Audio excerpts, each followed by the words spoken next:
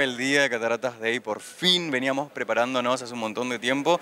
Y bueno, veníamos también con un miedo de ver si llovía, si no llovía, pero tuvimos un día bendecido acá en el Meliá y con un paisaje hermoso de fondo que son las cataratas del Iguazú, así que bueno, nos queda comenzar y que los 10 diseñadores seleccionados para ser el nuevo embajador del diseño se luzcan y, ver ese trabajo increíble que vienen haciendo hace un montón de tiempo.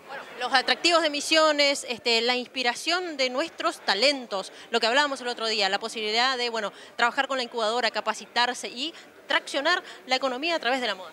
Exacto, una de, de nuestras misiones también es reactivar una economía eh, basada en el desarrollo de un mercado de, indumentaria y de la industria textil.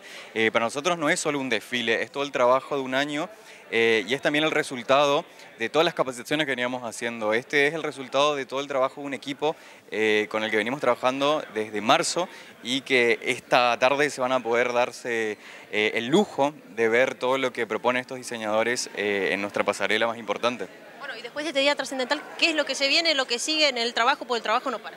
Exacto, el trabajo no para. Bueno, vamos a estar presentando nuestras colecciones eh, nuevas, Eugenia, Lutz y yo, y vamos a estar armando eh, un paquete interesante para el año que viene la Feria Internacional de Turismo.